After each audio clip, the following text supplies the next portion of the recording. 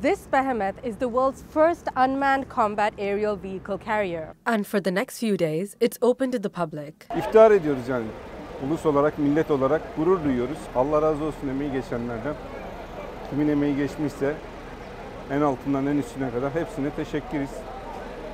Sağ olsunlar, var olsunlar. İnşallah devamı daha da güzel bir şekilde gelir.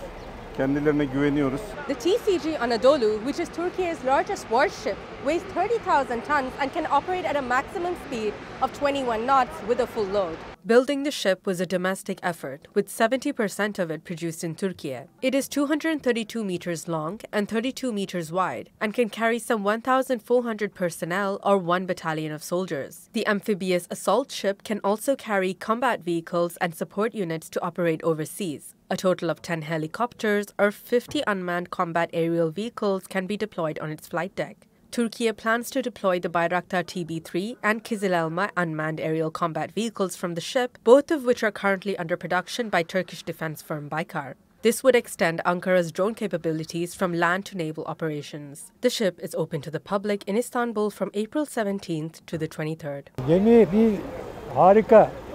Daha gezmedik, gezeceğiz inşallah.